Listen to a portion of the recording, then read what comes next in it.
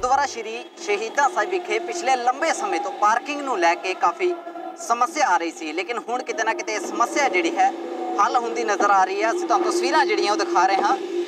ਗੁਰਦੁਆਰਾ ਸ਼੍ਰੀ Shishkin ਸਾਹਿਬ ਦੀਆਂ ਤਸਵੀਰਾਂ ਨੇ, ਜਿੱਥੇ ਕਿ ਤੁਸੀਂ ਦੇਖ ਸਕਦੇ ਹੋ ਕਿ ਕਿਸ ਤਰੀਕੇ ਦੇ ਨਾਲ ਢੋਆ ਢਵਾਈ ਦੀ ਜਿਹੜੀ ਸੇਵਾ ਹੈ, ਉਹ ਚੱਲ ਰਹੀ ਹੈ।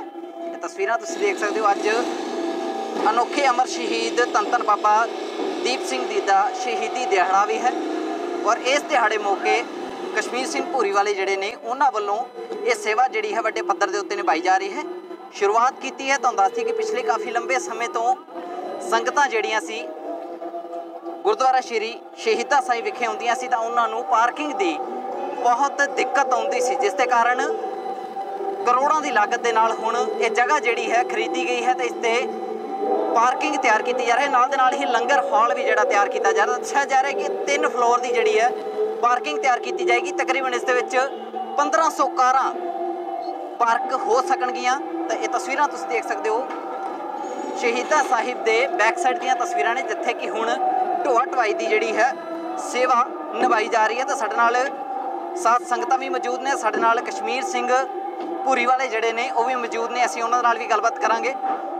ਮੁੱਚਾ ਖਾਲਸਾ ਪੰਥ, ਉਹਨਾਂ ਦੀ ਮਹਾਨ ਸ਼ਹਾਦਤ ਤੇ ਕੁਰਬਾਨੀ ਨੂੰ ਸਿਰ ਨਵਾਉਂਦਾ ਔਰ ਉਹਨਾਂ ਦੇ ਇਸ ਪਾਵਨ ਪਵਿੱਤਰ ਸਥਾਨ ਤੇ ਗੁਰਦੁਆਰਾ ਬਾਬਾ ਸ਼ਹੀਦਗੰਜ ਸਾਹਿਬ ਵਿਖੇ ਸਿੱਖ ਸੰਗਤ ਦੀ ਵਧ ਰਹੀ ਆਮਦ ਨੂੰ ਮੁੱਖ ਰੱਖਦਿਆਂ ਹੋਇਆਂ ਪਿਛਲੇ ਸਮੇਂ ਸ਼੍ਰੋਮਣੀ ਗੁਰਦੁਆਰਾ ਪ੍ਰਬੰਧਕ ਕਮੇਟੀ ਦਰਬਾਰ ਸਾਹਿਬ ਨੇ ਪੰਥ ਦੀ ਬਹੁਤ ਸਤਿਕਾਰ, ਸ਼ਖਸੀਅਤ ਪੂਰੀ ਵਾਲੇ ਸੰਪਰਦਾ ਦੇ ਮੁਖੀ ਸੰਤ ਬਾਬਾ ਕਸ਼ਮੀਰ ਸਿੰਘ ਜੀ ਮਹਾਂਪੁਰਸ਼ਾਂ ਨੂੰ ਬੇਨਤੀ ਕਰਕੇ ਉਹਨਾਂ ਨੂੰ ਇਸ ਸਥਾਨ ਦੀ ਪਾਰਕਿੰਗ ਦੀ, ਲੰਗਰਾਂ ਦੀ, ਦੀਵਾਨ ਹਾਲ ਦੀ ਹੋਰ ਵੀ ਜਿਹੜੀਆਂ ਲੋੜੀਂਦੀਆਂ ਇਮਾਰਤਾਂ ਨੇ ਉਹਦੇ ਵਿਸਤਾਰ ਵਾਸਤੇ ਇਸ ਸਥਾਨ ਦੀ ਜਿਹੜੀ ਸੇਵਾ ਦਿੱਤੀ ਸੀ।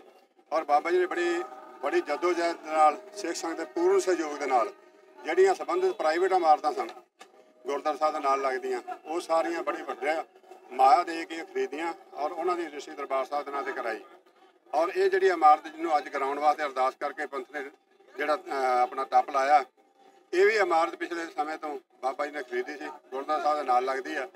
ਔਰ ਪਿਛਲੇ ਸਮ- ਜਿੱਥੋਂ ਸ਼ੁਰੂ ਸੇਵਾ ਹੋਈ ਹੈ ਉਦੋਂ ਤੋਂ ਲੈ ਕੇ ਹੁਣ ਤੱਕ ਥੱਲੇ ਡਬਲ ਬੇਸਮੈਂਟ ਬਣ ਰਹੀ ਹੈ ਔਰ ਇੱਥੋਂ ਪਾਰਕਿੰਗ ਦੀ ਵੱਡੀ ਦੀ, ਵੱਡੀ ਪਾਰਕਿੰਗ ਦੀ ਐਂਟਰੀ ਹੋਣੀ ਹੈ ਇਸ ਪਾਸਿਓਂ ਚਾਟੀਮੰਡ ਗੇਟ ਵਾਲੀ ਸਾਈਡ ਤੋਂ। ਔਰ ਜਿਹੜੀ ਪਰੇ ਰਾਮਸਰ ਸਾਹਿਬ ਵਾਲੀ ਪਾਰਕਿੰਗ ਵੱਡੀ, ਉਧਰੋਂ ਜਾ ਕੇ ਉਹਦੀ ਐਗਜ਼ਿਟ ਹੋਇਆ ਲੱਗੇ ਵੱਡੀ ਪਾਰਕਿੰਗ ਡਬਲ ਬੇਸਮੈਂਟ ਵਾਲੀ, ਇਹ ਜਿਹੜੀ ਇਹਦੇ ਥੱਲੇ ਬੰਨੀ ਆ ਇਹਦੇ ਥੱਲੇ ਜਿਹੜੇ ਲੋੜੀਂਦੇ ਸਟੋਰ ਹੋਰ ਜੋ ਸਮਾਨ ਲੋੜੀਂਦਾ, ਉਹਦੇ ਵਾਸਤੇ ਕਮਰੇ, ਪ੍ਰਬੰਧ ਸਾਰਾ ਹੋਊਗਾ। ਉੱਤੇ ਬੜਾ ਵੱਡਾ ਜਿਹੜਾ ਮਾਡਰਨ ਲੰਗਰ ਮਾਡਰਨ ਤਰੀਕੇ ਨਾਲ ਤਿਆਰ ਹੁੰਦਾ, ਸਿੱਖ ਸੰਗਤਾਂ ਵੱਲੋਂ ਜਿਹੜਾ ਲੰਗਰ ਉਹ ਤਿਆਰ ਕੀਤਾ ਜਾਏਗਾ। ਔਰ ਸਿੱਖ ਸੰਗਤ ਦਾ ਇਹ ਵੱਡੇ ਕਾਰਜ ਨੇ। ਗੁਰੂ ਸਾਹਿਬ ਦੀ ਬੜੀ ਬਖਸ਼ਿਸ਼ ਹੈ। ਮਹਾਂਪੁਰਸ਼ਾਂ ਨੇ ਬੇਅੰਤੀ ਪੰਥ ਵੱਲੋਂ ਦਿੱਤੀਆਂ ਸੇਵਾਵਾਂ ਜਿਹੜੀਆਂ ਕੀਤੀਆਂ ਔਰ ਕਰ ਰਹੇ ਲਗਾਤਾਰ। ਔਰ ਇਹ ਅੱਜ ਜਿਹੜੀ ਇਮਾਰਤ ਕਰਾਈ ਹੈ, ਇਹ ਵੀ ਇਸੇ ਮਕਸਦ ਵਾਸਤੇ ਕਰਾਈ ਹੈ ਕਿ ਇੱਥੇ ਜਿਹੜੀ ਹੈ ਪਰ ਥੱਲੇ ਬੇਸਮੈਂਟ ਬਣੇਗੀ ਉੱਤੇ ਜਿਹੜੀ ਆ ਉਹਦੇ ਪਾਰਕਿੰਗ ਬਣੇਗੀ ਉੱਤੇ ਲੋੜੀਂਦੀਆਂ ਇਮਾਰਤਾਂ ਬਣ ਗਈਆਂ, ਦੀਵਾਨ, ਹਾਲ ਵਗੈਰਾ ਸਾਰਾ ਕੁਝ ਇੱਥੇ ਬਣੇਗਾ।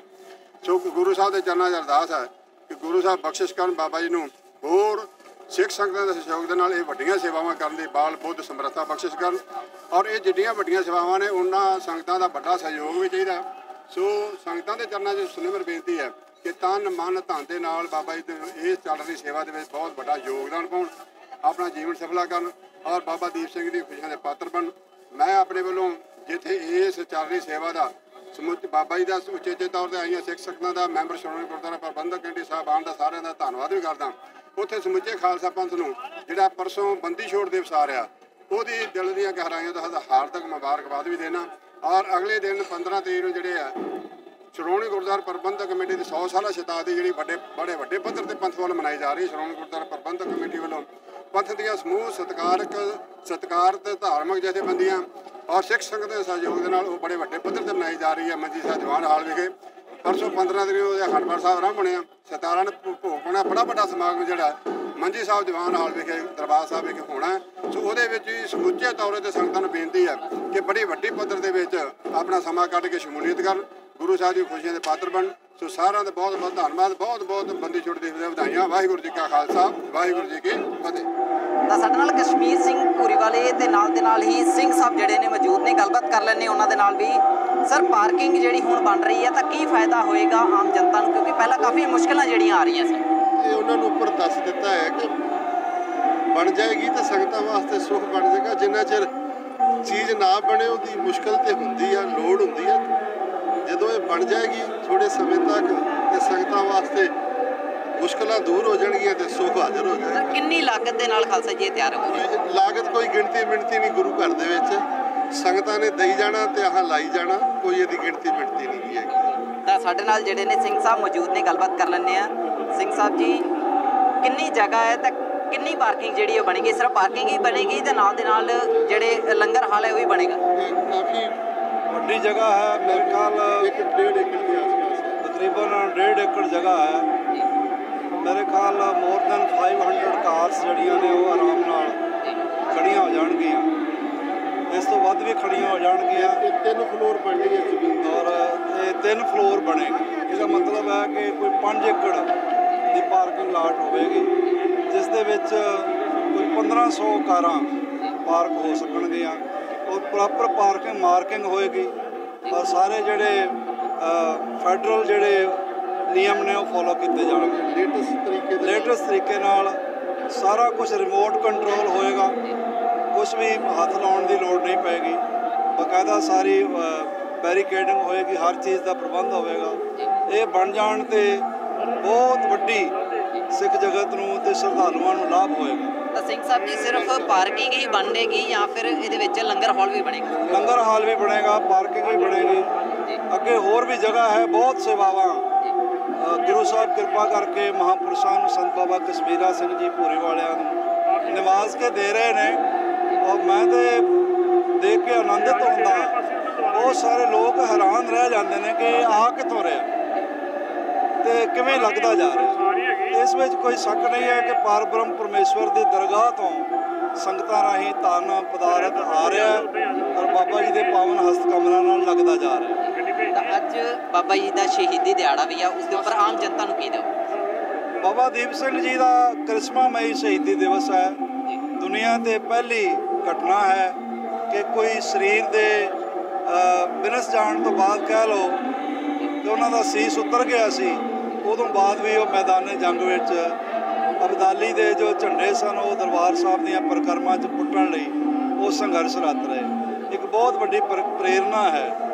ਔਰ ਪਾਰ ਬ੍ਰਹਮ ਪਰਮੇਸ਼ਰ ਦੀ ਅਥਾਹ ਵੱਡਾ ਕ੍ਰਿਸ਼ਮਾ ਹੈ, ਜਿਹੜਾ ਬਾਬਾ ਦੀਪ ਸਿੰਘ ਜੀ ਨੇ ਬਿਨਾਂ ਸੀਸ ਤੋਂ ਯੁੱਧ ਕਰਦਿਆਂ ਹੋਇਆਂ ਆਪਣਾ ਸੀਸ ਮਹਾਰਾਜ ਨੂੰ ਭੇਟ ਕੀਤਾ ਔਰ ਗੁਰੂ ਗੁਰੂ ਰਾਮਦਾਸ ਮਹਾਰਾਜ ਜੀ ਦੇ ਦਰਬਾਰ ਨੂੰ ਜੋ ਦੁਸ਼ਟਾਂ ਨੇ ਘੇਰਾ ਪਾ ਰੱਖਿਆ ਸੀ, ਉਸ ਤੋਂ ਮੁਕਤ ਕਰਾਇਆ। ਤੇ ਬਿਲਕੁਲ ਜਿਸ ਤਰ੍ਹਾਂ ਕਿ ਤੁਸੀਂ ਦੇਖਿਆ ਹੈ ਕਿ ਕਸ਼ਮੀਰ ਸਿੰਘ ਪੂਰੀ ਵਾਲੇ ਜਿਨ੍ਹਾਂ ਦੀ ਇਹ ਸੇਵਾ ਜਿਹੜੀ ਉਹ ਨਿਭਾਈ ਗਈ ਹੈ, ਤੁਹਾਨੂੰ ਦੱਸਦੀ ਹੈ ਕਿ ਇਹਨਾਂ ਦਾ ਕਹਿਣਾ ਹੈ ਕਿ ਜਦੋਂ ਇਹ ਪਾਰਕਿੰਗ ਤਿਆਰ ਹੋ ਗਈ ਤਾਂ ਤਕਰੀਬਨ 1500 ਕਾਰਾਂ ਜਿਹੜੀਆਂ ਇਸ ਪਾਰਕਿੰਗ ਦੇ ਵਿੱਚ ਲੱਗ ਸਕਣਗੀਆਂ ਤਾਂ ਜਿਹੜੀਆਂ ਮੁਸ਼ਕਲਾਂ ਸੰਗਤਾਂ ਨੂੰ ਆ ਰਹੀਆਂ ਸਨ, ਉਹ ਹੱਲ ਹੋ ਜਾਣਗੀਆਂ। ਵੀਡੀਓ ਜਰਨਲਿਸਟ ਮਨੋਜ ਭਗਤ ਨਾਲ ਵਿਸ਼ਾਲ ਸ਼ਰਮਾ ਲਾਈਵ ਭਾਰਤ ਅੰਮ੍ਰਿਤਸਰ। ਸਤਿ ਸ਼੍ਰੀ ਅਕਾਲ ਜੀ ਸਾਰਿਆਂ ਨੂੰ। ਮੈਂ ਹਾਂ JP Singh Cambridge International Academy ਤੋਂ। ਕੋਵਿਡ-19 ਦੀ ਮਹਾਮਾਰੀ ਤੋਂ ਬਾਅਦ UK USA Canada Australia student visa ਦੇ ਨਿਯਮਾਂ ਵਿੱਚ ਆਇਆ ਹੈ ਵੱਡਾ ਬਦਲਾਅ। ਜੇਕਰ ਤੁਸੀਂ ਵੀ ਇਹਨਾਂ ਕੰਟਰੀਆਂ ਦੇ ਵਿੱਚ ਸਟੱਡੀ ਵੀਜ਼ਾ ਅਪਲਾਈ ਕਰਨ ਬਾਰੇ ਸੋਚ ਰਹੇ ਹੋ, ਤਾਂ ਕੈਂਬਰਿਜ ਇੰਟਰਨੈਸ਼ਨਲ ਅਕੈਡਮੀ ਦੀ ਐਕਸਪਰਟ ਟੀਮ ਤੋਂ ਸਲਾਹ ਲੈਣਾ ਨਾ ਭੁੱਲਣਾ, ਕਿਉਂਕਿ ਕੈਂਬਰਿਜ ਇੰਟਰਨੈਸ਼ਨਲ ਅਕੈਡਮੀ ਕੋਲ ਹੈ ਪਿਛਲੇ 13 ਸਾਲ ਦਾ ਵੱਡਾ ਤਜਰਬਾ, ਜਿਨ੍ਹਾਂ ਦੀ ਮਦਦ ਦੇ ਨਾਲ ਹਜ਼ਾਰਾਂ ਹੀ ਪੰਜਾਬ ਦੇ ਨੌਜਵਾਨ ਵਿਦੇਸ਼ ਦੇ ਵਿੱਚ ਆਪਣਾ ਚੰਗਾ ਭਵਿੱਖ ਬਣਾ ਚੁੱਕੇ ਨੇ। ਜੇਕਰ ਤੁਸੀਂ ਵੀ ਵਿਦੇਸ਼ ਪੜ੍ਹਾਈ ਵੀਜ਼ੇ ਤੇ ਜਾਣਾ ਚਾਹੁੰਦੇ ਹੋ, ਤਾਂ ਸਕਰੀਨ ਤੇ ਡਿਸਪਲੇ ਹੋ ਰਹੇ ਨੰਬਰ ਤੇ ਕਾਲ ਕਰਕੇ ਤੁਸੀਂ ਮੈਨੂੰ ਅੰਮ੍ਰਿਤਸਰ ਤੇ ਜਲੰਧਰ ਆਫਿਸ ਦੇ ਵਿੱਚ ਮਿਲ ਸਕਦੇ ਹੋ ਔਰ ਅਸੀਂ ਕਰਾਂਗੇ ਤੁਹਾਡਾ ਵਿਦੇਸ਼ ਦੇ ਵਿੱਚ ਪੜ੍ਹਾਈ ਕਰਨ ਦੇ ਸੁਪਨੇ ਨੂੰ ਸਾਕਾਰ। ਧੰਨਵਾਦ।